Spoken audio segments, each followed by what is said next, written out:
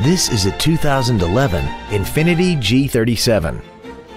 This car has an automatic transmission and a 3.7-liter engine.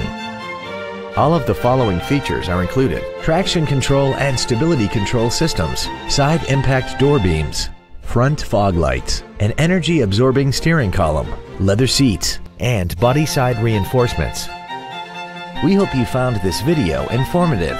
Please contact us today.